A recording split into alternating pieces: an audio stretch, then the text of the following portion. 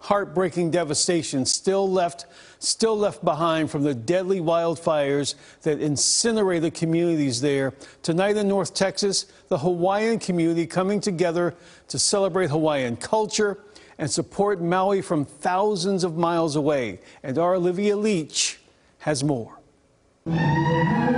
For our culture, you know, music heals. So when there's laughter, song, dance, food, food you know, and conversation, it just heals from the inside out. So that's just what the Hawaiian community here in North Texas did at the hashtag Maui Strong fundraiser in Bedford. Organizers Barry and Pomai Uyahara said the community needed a way to support each other and their loved ones back home in Maui during this tragedy.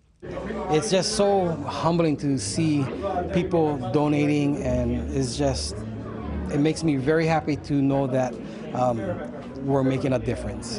The Mid Cities Montessori School, where the fundraiser was held, was decorated with lace and Hawaiian art, and hundreds of people packed into the gym to watch traditional Hawaiian dances that reminded many of home. Looking at everyone dancing and being together, we're coming together as one and their families there who were impacted by the fires. Kailani Namahoe has relatives on Maui who lost everything. My uncle Wilmot Kahai Ali'i has been affected with his family.